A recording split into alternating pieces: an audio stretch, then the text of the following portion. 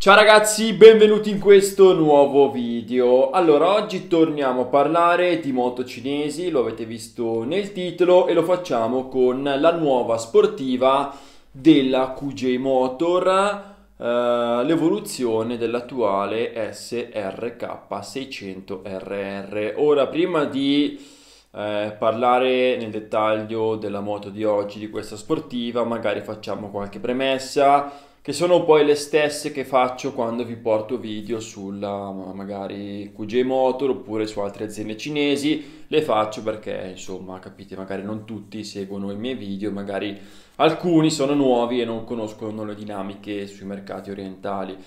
Oggi parliamo di una moto della QJ Motor. QJ Motor è un'azienda in Italia praticamente sconosciuta in quanto è un'azienda nata poco tempo fa eh, più che altro per i mercati orientali, una moto per esempio, un'azienda conosciuta per esempio già in Cina, un'altra azienda detenuta dal marchio QJ Group, che è un grosso uh, marchio cinese che oltretutto detiene anche per esempio il marchio Benelli e anche il marchio Kiway Motor. Però vi ricordo che all'ultimo ECMA 2021 a sorpresa era presente anche la QJ Motor con diverse proposte che in teoria dovrebbero poi arrivare da noi in Italia eh, nei prossimi mesi. Eh, tra queste proposte nuove della QJ Motor ci potrebbe essere anche questa sportiva della quale parliamo oggi. Dicevo, Um, possiamo vederla questa moto di oggi come l'evoluzione dell'attuale SRK 600RR che è la moto che vedete qui di fianco. Una moto della quale vi ho parlato circa due anni fa quando è uscita in Cina. All'epoca si pensava che sarebbe poi arrivata in Italia marchiata Benelli in realtà la moto da noi comunque non è ancora mai arrivata quella moto, l'SRK 600 RR prima versione, chiamiamola così, montava il motore 4 cilindri, un 600 di cilindrata, eh, con una potenza di 80 cavalli, una moto insomma fatta abbastanza bene se vogliamo come caratteristiche, per esempio montava anche uno schermo TFT, traction control, un impianto frenante comunque abbastanza di qualità, così come anche le sospensioni. Insomma, una moto fatta abbastanza bene e venduta ad un prezzo interessante, quantomeno sul mercato cinese. Però, insomma, quella moto era omologata all'equivalente della nostra Euro 4, quindi ovviamente non poteva poi arrivare neanche in Italia, in quanto da noi è arrivato, sapete, l'Euro 5. Però la moto della quale parliamo oggi, la nuova SRK 600RR, ha ricevuto diversi aggiornamenti, a partire comunque dall'estetica, il design, caratteristiche tecniche, il motore adesso è più potente, il serbatoio è più capiente, migliora anche la ciclistica, anche il pacchetto elettronico eh, migliora anche l'omologazione, un gradino superiore, quindi potrebbe essere che magari questa moto effettivamente adesso venga omologata Euro 5 e potrebbe arrivare quindi sul mercato anche italiano. Per questo oggi vi parlo di questa moto. Quindi è un po' diverso rispetto al video della TRK 702 che vi ho portato qualche giorno fa, in quel caso si parlava di una moto Benelli ma che al 99% rimarrà confinata comunque al mercato eh, cinese. Comunque sia, discorso SRK 600RR nuova, qui di fianco vi lascio qualche immagine. Rispetto alla versione iniziale, eh, quella vecchia, noterete diverse migliorie. L'estetica cambia parecchio, per esempio cambia molto anche la forma del faro, una livrea che è un mix tra il rosso e il bianco, ma soprattutto si notano le nuove alette aerodinamiche eh, fatte in modo che ricordino la fibra di carbonio. No? Eh, discorso elettrodinamiche, secondo la casa, a quanto pare, non sono messe lì a caso, ma dicono loro che hanno fatto anche uno studio e queste alette sono comunque in grado di generare un carico aggiuntivo sui 5 kg a 150 all'ora, il che migliorerebbe la stabilità della moto. Così dice l'azienda. Onestamente eh, non so quanto possa essere vera questa cosa, però ragazzi, questo è quello che dice l'azienda, sicuramente andrebbe verificato, comunque sia. Diciamo che le lettere dinamiche su moto di questo tipo non hanno secondo me veramente senso, possono avere un senso sulle moto, sulle sportive 1000, ma per chi va in pista, per chi invece gira su strada con moto, con queste potenze, secondo me sono semplicemente dei, diciamo, degli addobbi no? per fare scena, vanno di moda, ma non è che migliorano le prestazioni, ragazzi. Ultimamente vanno di moda queste eletrodinamiche, addirittura vedo gente, per esempio su Instagram, che monta eletrodinamiche aftermarket su moto come l'R6 per andare in strada, fanno scena, ma fondamentalmente non servono a nulla, anzi, se uno vuole vantarsi, con le elettrodinamiche la moto rallenta in quanto alle alte velocità le elettrodinamiche fanno resistenza, non è che la moto va più veloce, no? Va più veloce in pista per altre dinamiche, ma non perché è più veloce la moto grazie alle elettrodinamiche.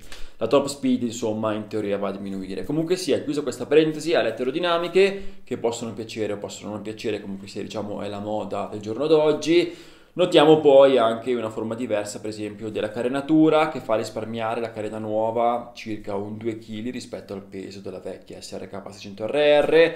Cambia anche la forma del codino, cambia anche lo scarico, cambia anche il serbatoio, insomma è una moto pesantemente rivista.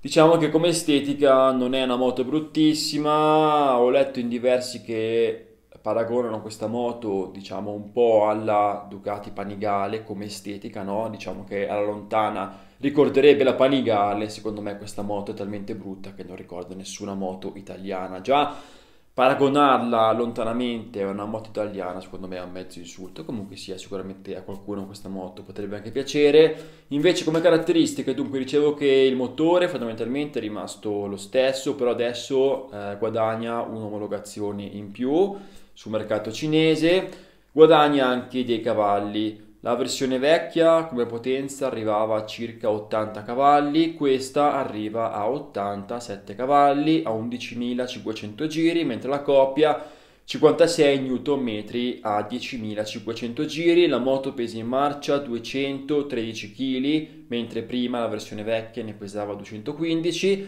altezza sella 790 mm e un serbatoio di 18 litri, un serbatoio effettivamente bello capiente. Cosa ci dicono questi dati? Ci dicono che questa moto si potrebbe quasi paragonare a una Honda CBR 650R perché i dati più o meno sono lì la potenza è leggermente più bassa, così come anche la coppia, però se vogliamo il peso ehm, che è sicuramente abbastanza rilevante è lì lì con il peso anche della CBR 650R.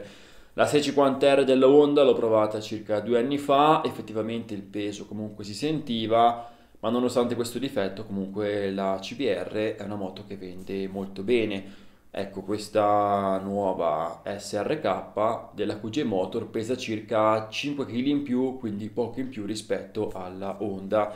CBR 650R di rimando pesa molto di più rispetto per esempio a una Yamaha R7 o una RS 660 dell'Aprilia. Per altre cose, ciclistica tela in acciaio, eh, sospensioni firmate o Marzocchi eh, oppure Kayaba, non è chiaro bene questa cosa, dalle immagini non è che si veda molto bene, comunque sia eh, sono anche di qualità, steli rovesciati, la forcella, il pianto frenante addirittura dicono Brembo con un doppio disco anteriore da 320 mm con pinza radiale a 4 pistoncini, la posteriore un singolo disco 260 mm, gommata 120-180 con ABS anche della Bosch.